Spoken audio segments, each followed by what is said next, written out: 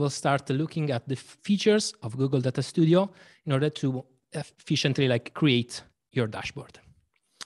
Uh, some words about me. I was previously a music director for a local radio, and now I've fully embraced uh, the data world, but uh, always like applied to the music business. Uh, I'm currently assembling data. I'm making dashboard for uh, Warner Music Group, making sure that everything looks pretty and especially efficient.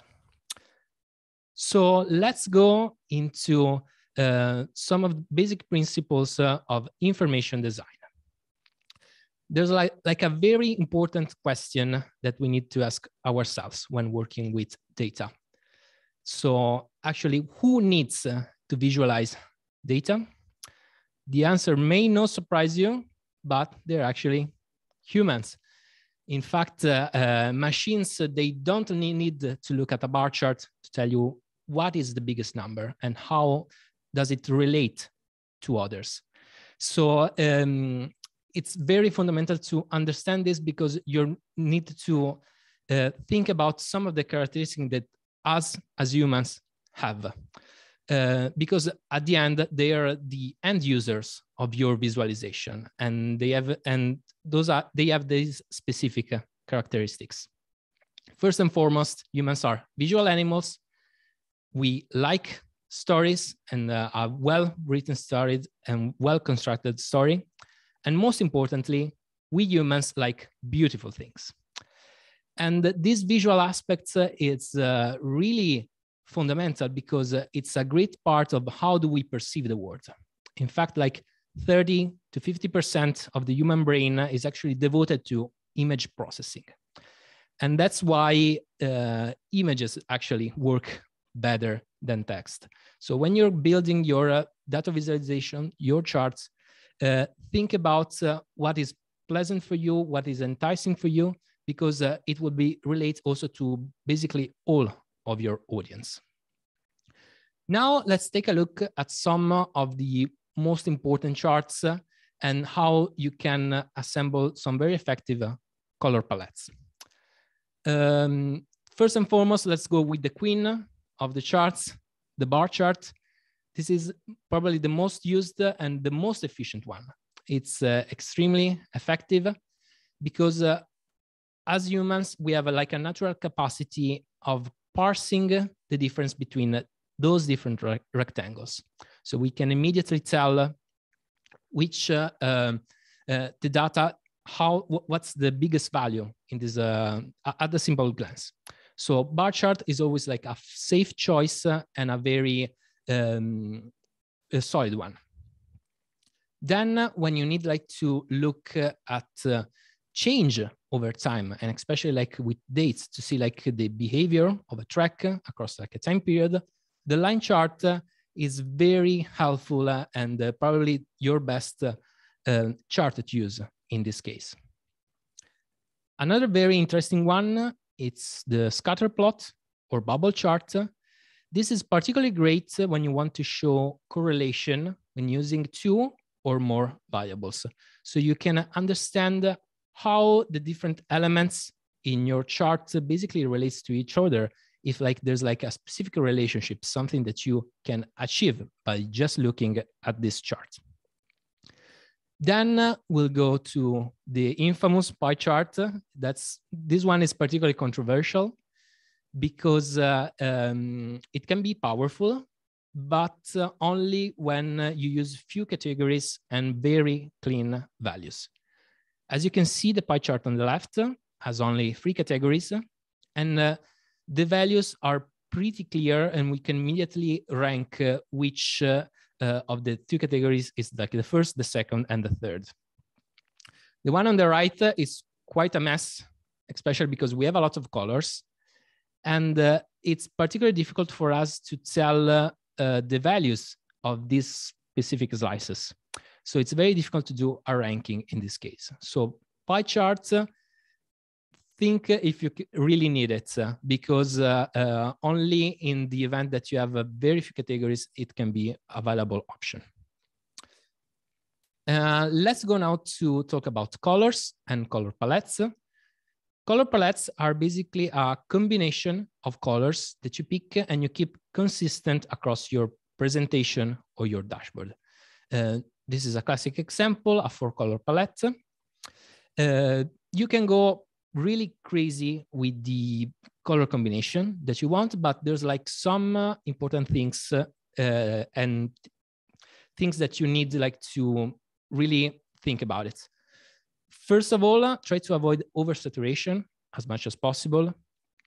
Um, because think about like assessing the visual flavor uh, of your dashboard, of your presentation. This allows you like to reduce uh, and limit the choices of colors that you're gonna use.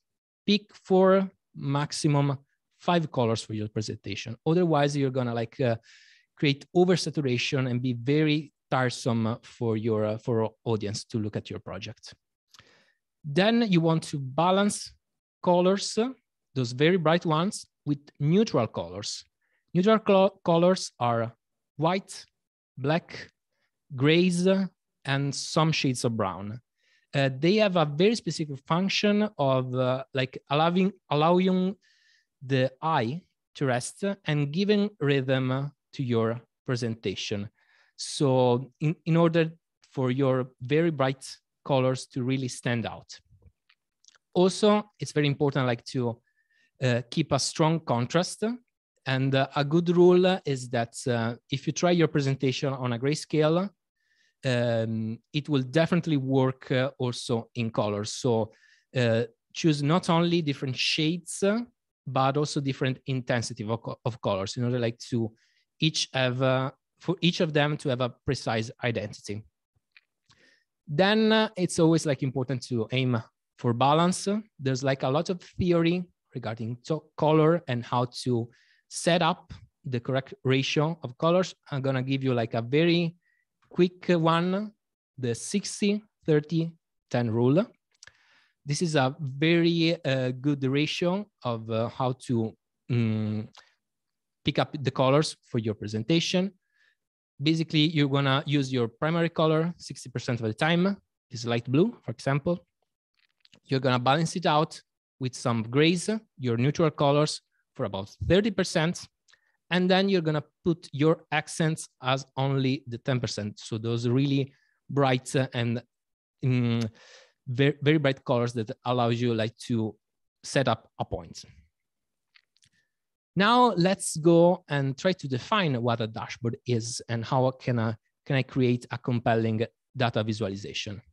There are three fundamental questions that you need to ask yourself. First of all, know what you really want to say. Why do you want to say it? What information do I want to give? Define the scope of your research or your presentation because if it's not clear to you what you are gonna say, it will be not clear for your audience. So ask all your questions that you need regarding how, what, what's the best approach to the thesis that you're working on. Next, it's time to take a look at your data and what your data is saying. So really take your time to really understand your data and check out what elements do you have and try to understand if uh, they're sufficient for your analysis or you need like to retrieve additional data sets to further convey your point. Then, very important, know what your audience wants to hear and change the language that you use based on the audience. Are you talking to the uh, a general public or some very experienced uh, music industry leaders? does changes a lot because you can be like more generic from a side and maybe you want to go more technical since these people know what you're talking about and always like provide further context uh, if uh, um, if your thesis is like not uh, very clear and um, like to really make your audience understand what you're talking about then it's time to finally start to sketch your dashboard you can start looking at the charts that you are available and uh, with uh, keeping always in mind what your end goal is. Um, so you can start summarize your key points and think what charts would be more useful in order like to really convey those points that you're defining. Then uh, another important thing is start to sketch your dashboard on paper. Um, this is very important step because it allows you like to check if uh, the data at your disposal matches your story by doing like this very quick draft. So you can redefine your story or your topics according to the data that you are available that you started like to sketch. Then you can finally move on uh, Data Studio or whatever tool do you want to use. And this in this part, you can also like try to review the points that you have and see that the charts that you've uh, included actually match your end goal. And uh, if you find out that a chart that you're putting in isn't useful uh, or too complex for what you want to, to show, go and just remove it. So now we can move to uh, our actual tutorial regarding Google Data Studio. It's a very useful tool. Let me find, find my table here. Here it is. okay, you can ju just simply Google um, Google Data Studio. And you access uh, the uh, main uh, part of the of Data Studio. As you can see, it's pretty similar to other products of the Google uh, Suite. And we can start uh, creating our new visualization. You can either do by the create button or creating a blank report. So we click here. And as you can see, the first thing that Google Data Studio asks us is to import the data. Um, the simplest way to do it is by uploading a file. In fact, you can connect a CSV file in order for the program to read it, or you can create a, a Google datasheet with all uh, your entire data set. Uh, we're going to use this method for the data ingestion. And as, as you can see, I have uh, this data set for measure of music that I created. Once you selected your Google Sheet, you can click Add. And while the program loads it, we can start and take a look at what the data dataset is. Uh, so it's a pretty simple uh, streaming report regarding some uh, tracks of a fictional label. Uh, we have a, specific date, the catalog number of that specific track, and the artist that realize it. The format is streaming for everything, all the records that we have. We have the different service provider, as well as country, territories, and the aggregated streams per month of this specific record. So it's a pretty um, simple set that, but we can uh, actually achieve a lot from it. Let's go back uh, to our file. And as you can see, uh, Google Data Studio already imported a table for me and created that table based on the catalog number and the record count of all my data sets. Um, in this case, uh, this could be a good start to see. Maybe we want to see which is the best uh, um, the most streamed record of our label. So we can start uh, creating a different table with this. Uh, instead of record count, I want to add another measure. In this case, it's my stream that I see here. So as you can see, the, avail the available fields are basically all the columns that we see here on our data sets.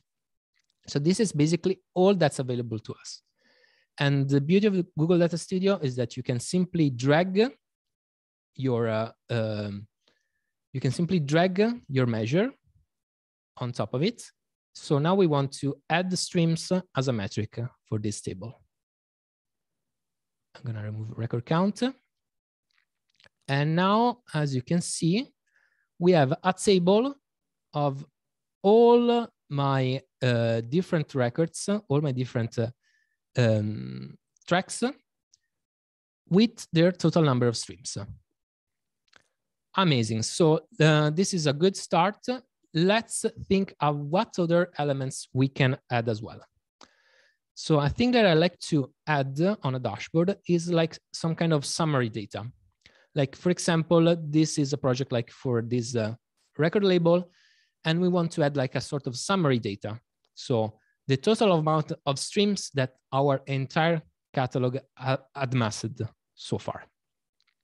So in order to add this type of data, we go here and we add a chart. In this case, I want to see just like the total number of streams, and we can use this scorecard here. I can drop it like here. And as you can see, Google's Data Studio is pretty smart and already like compiled that for me. So we have the sum of the total streams. So we have a whopping 8 billion streams, pretty good amount. Uh, probably we're not interested to see this entire figure. So we can uh, maybe trim it down to just show like um, 8 billions. In order to do so, you can go directly here on the style section. So data, you're gonna basically modify um, what is uh, inside your chart. So in this case, uh, uh, the data range or uh, the specific metrics they're in, while the style, it's uh, literally how you're gonna present it. And as you can see here, we have a pretty uh, checkbox that show us compact numbers. And with a single touch, you see that we have uh, rounded down our streams to 8.0 total billion. Another interesting thing that I would like to see it's how many records do, we actually have that amassed this very um, um, interesting amount of streams. So we're gonna add another chart. We're gonna add another scorecard. We're gonna put it next to it. And instead of record count, we're gonna put catalog number. So in this case, we're gonna count the distinct number of catalog numbers that are available to us. And we have a total of 103 uh, records in total. So as you can see, this is really pretty simple. You just like click, drag and drop uh, the elements that you want to show directly on the metric field. Uh, this is nice. Now I want to maybe focus on the artists. Since uh, as uh, I uh, saw on uh, our data set, we have different artists. So we want to see how they actually performed. So let's try with the infamous pie chart that we were talking about previously and see how does it work. In this case, I don't want to see catalog number as my dimension, but my artist. As you see here, we have, they added basically everything, uh, all the records that we have. So we're gonna click the artist and drop it under metrics.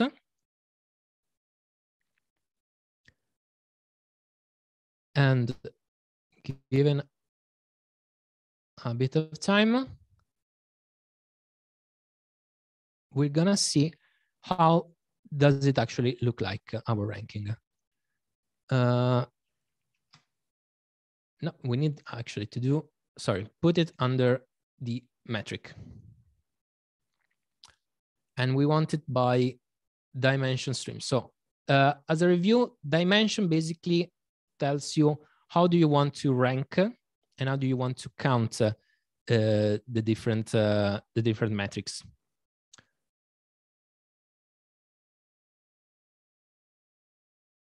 So while this one is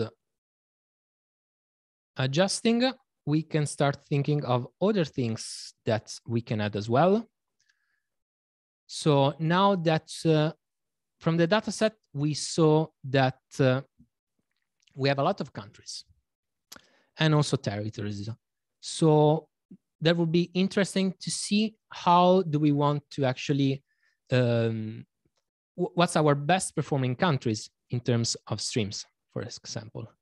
Uh, let's uh, this one it's still so let's go back uh, to the basics and put it uh, back again for the artist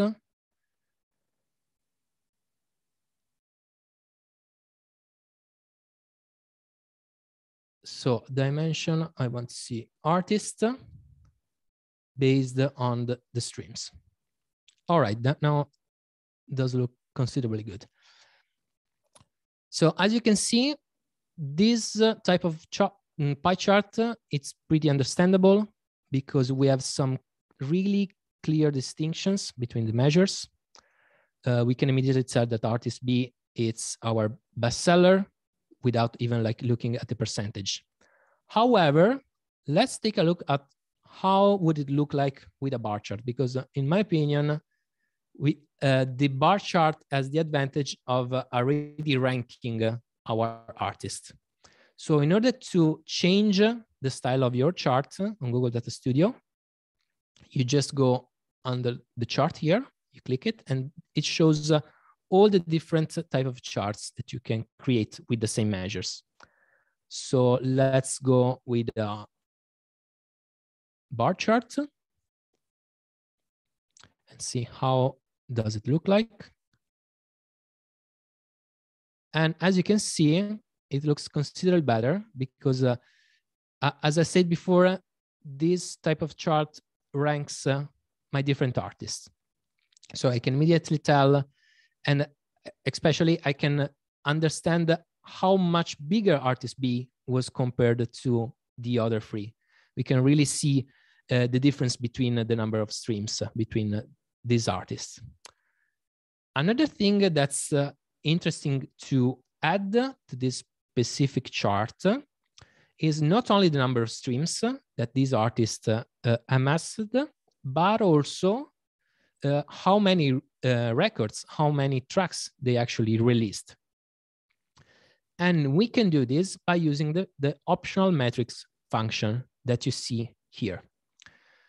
So we just click it and we want to add, in this case, the catalog number to see how many records did they actually release. And the beauty of it is that you can switch between these different views with just a click of a button. Uh, on your chart, you go on optional metrics and you can show not only the, the visualization based on streams, but also by the number of records that these artists, uh, artists released. Let's give it a little bit of time to do some calculations.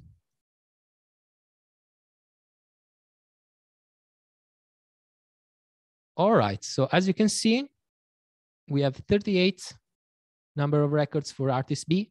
So even like if artist B and Z are pretty similar um, number of records, we can see that by the streams, arti artist B performed considerably better than artist Z. So that's very interesting to see. Uh, let's continue on our analysis on the artist. And since uh, based on the data set, we have a lot of dates, we can see how do they behave with a specific line chart see the evolution of the streams for these artists. In order to do so, we're gonna add a new chart and we're gonna add our line chart here. As you can see, I'm not concerned about uh, uh, it looking good yet because I want like to uh, like create uh, my dashboard first. Uh, all right, so now we want to see, as you see here on the uh, x axis, we have the number, the, the individual artist. And we actually want to see the, uh, the dates here. So in order to do so, under our dimension here, where we can see its artist, we want to switch it with dates. So we can just like click and drag it and giving a little bit of time to do its calculations, we're gonna see how the, um, the streaming evolution of our total number of, uh, of tracks. Uh, as you can see, something is weird here because we, the, our chart starts from uh, backwards from November 2021 to January 2017 but we can simply solve it by using this sort function that you can see here.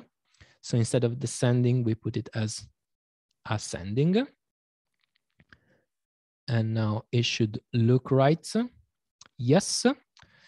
But uh, as mentioned, now we see uh, the total number. So these 8.0 billion streams that we have in total and we wanted to break it down based on artists to see how they actually performed. And in order to do so, we will use this breakdown dimension field. So we pick our artist name, we put it under breakdown,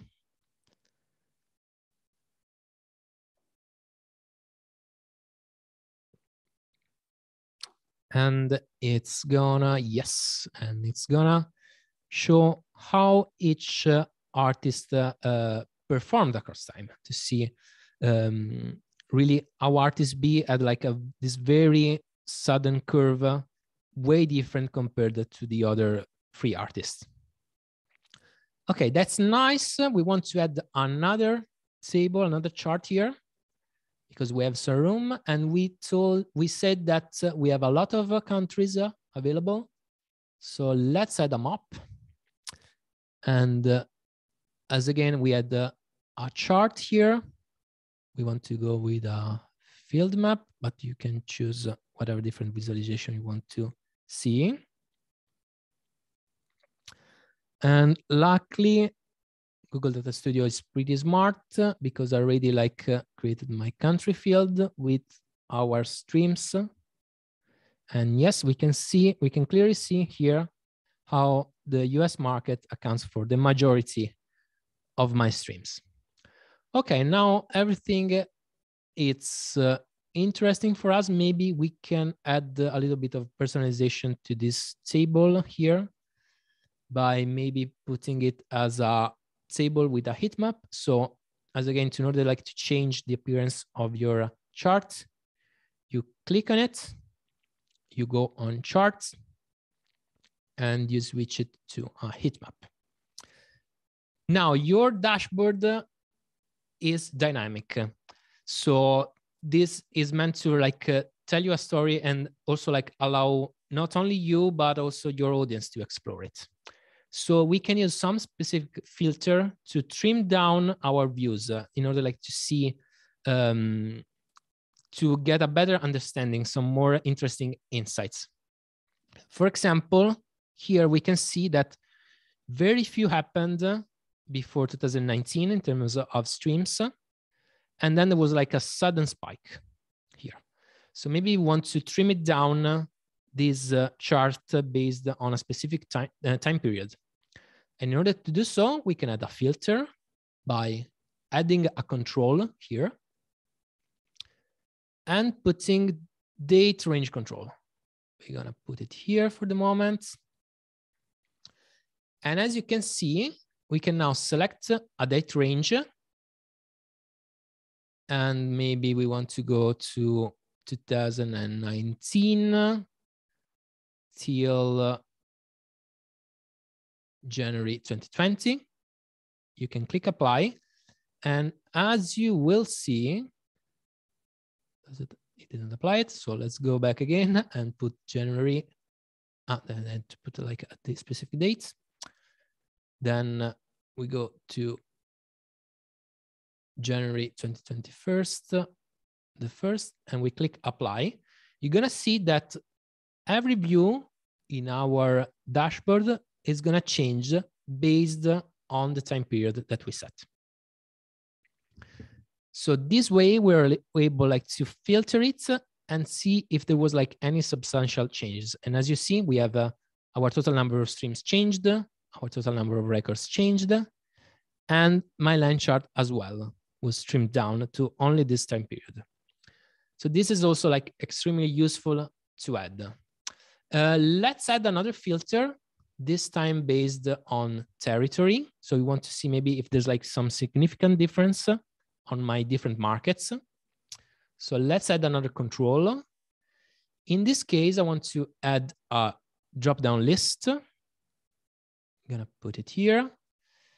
And instead of catalog number, I'm not interested into going that much into detail.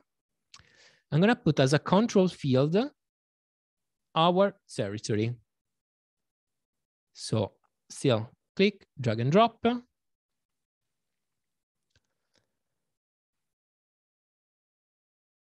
And giving it a moment, as you can see, now we can filter based on the territories that are available to us. So let's say that I want to see the streaming on Latin America.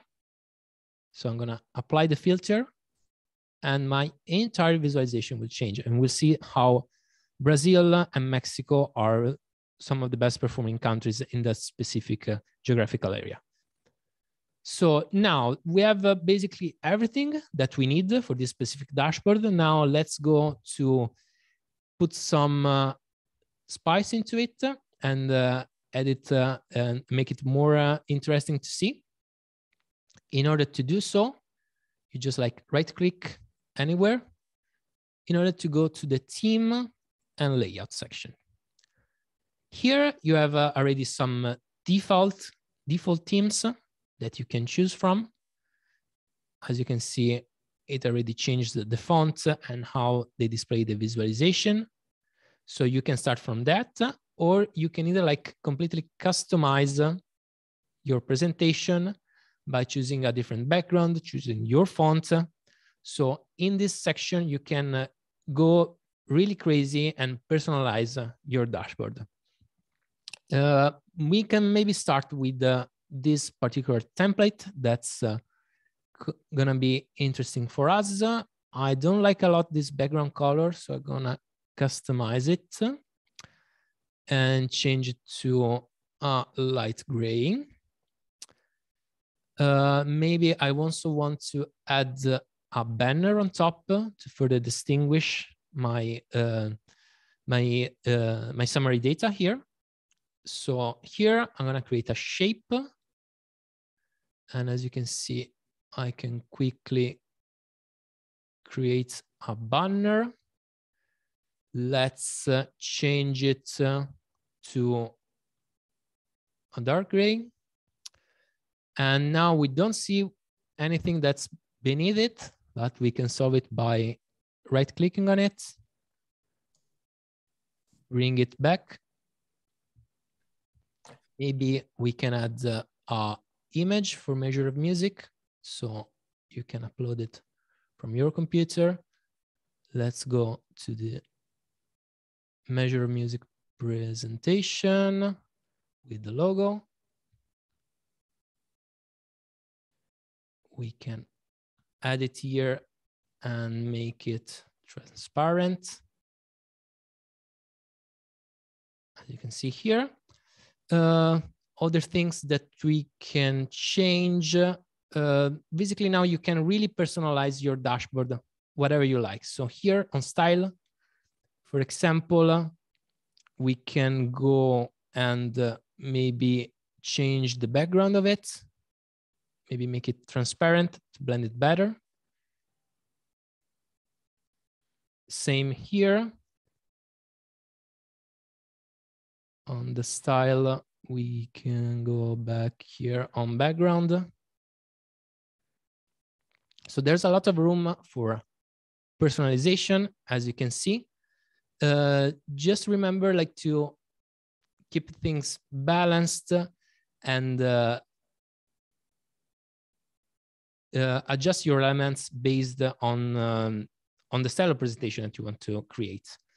Um, here, for example, you can also like uh, decide what's the best lay layout for you, Be because you can go with like a, a different canvas size mm, you can choose like between uh, doing different uh, uh, formats, different ratios but you can also like go very creative uh, and uh, create, I don't know, maybe a vertical presentation and really like deliver your story in this way. Uh, there's a lot of things that you can cover. I'm gonna show you. We're I think we're gonna running a little bit of uh, later, so I'm gonna show you how I finished my presentation for this one, and this is how your presentation on Google Data Studio would look like at the end, and you can quickly browse through it. Uh, I think uh, it's all for me now. We have some sometimes for uh, questions, I believe.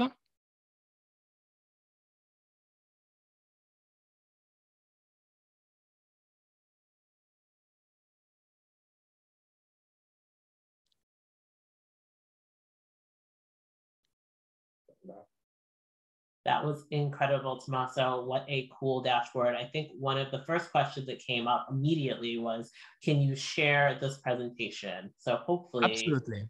Absolutely, great. So I will get you guys information onto how to access this presentation as soon as I have it. So look out for more information about that shortly. And hopefully you'll share these dashboards as well so people can play around with them. Absolutely. Fantastic. Great.